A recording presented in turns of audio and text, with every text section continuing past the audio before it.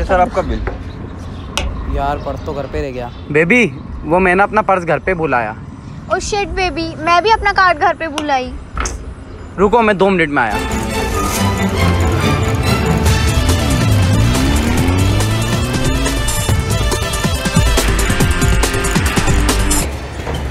और बेटा यहाँ कैसे? नमस्ते अंकल बेबी ये लो तुम्हारा कार्ड घर से ले आया कर दो